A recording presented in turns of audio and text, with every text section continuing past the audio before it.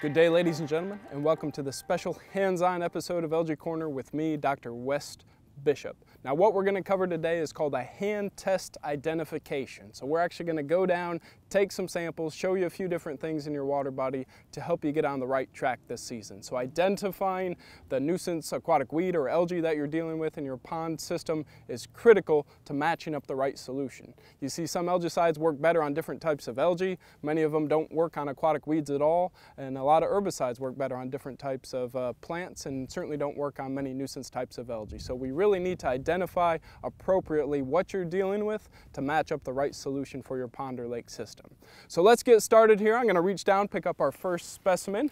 Now this guy, this guy is usually floating on the surface of the water body itself. It's hard to pick up a bunch of it, but uh, it looks like tiny little waxy beads. It feels sort of gritty, tiny waxy beads that floats on the surface of the water body. This is actually the world's smallest flowering plant called water meal.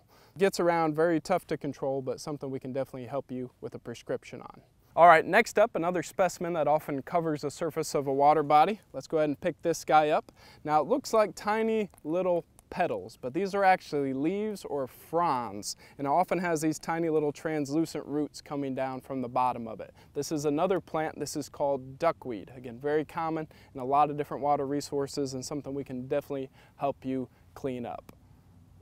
All right, next up, if you reach in and pull something out that's sort of uh, slimy and gooey, looks like little gel balls, this can be many different types of cyanobacteria. This could be nostoc or rivularia or Calothrix, but tiny little uh, sort of hard, slimy types of balls is something, uh, again, fairly common type of cyanobacteria we see in water resources. Now, if you reach down to pick something up and it looks like a scum, sort of bluish green in color, looks like this, and you really can't pick it up, it could certainly be other types of cyanobacteria, those scum formers, often difficult to really grab or feel what those look like.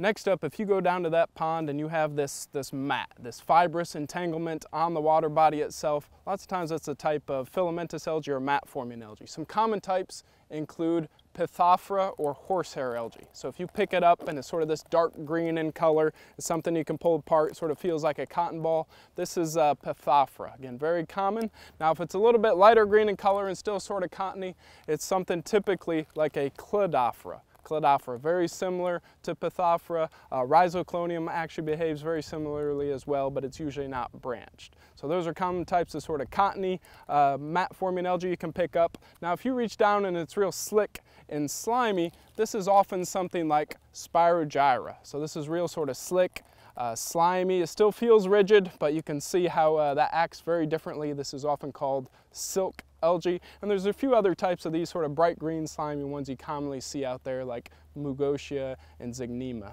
So very, uh, very neat types of early spring algae and common types of algae you see in water resources. All right, one more sort of real slimy, thick uh, nasty smelling mat former is called uh, Lyngbya. There's a few other filamentous cyanobacteria that look like this too. Uh, Phormidium and Oscillatoria can act this way. Scytonemia we're seeing a lot of, but it often smells bad, has taste and odor compounds. A lot of them produce toxins as well, but often this darker black color, more slimy feeling in appearance. Uh, uh, these are uh, more cyanobacteria blue-green algal mats that we see. They form across the bottom and often can form uh, mats across the surface too. All right guys, if you noticed I used a gloved hand to do this hand test identification. Now there's many reasons for that. Some of these algal mats can harbor bacteria that can make people sick. Sometimes there's leeches or other bugs in there that may be able to bite you that you don't want to get on your skin.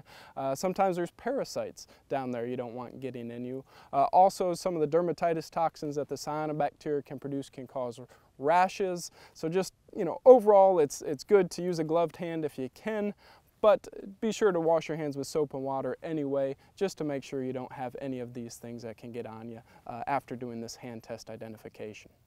So the hand test is just a quick, simple on-site assessment that you can do, but if you still need help understanding what you have or confirming what you have, you know, please send us a picture, send your local technical specialist a picture, or visit sepro.com to learn more.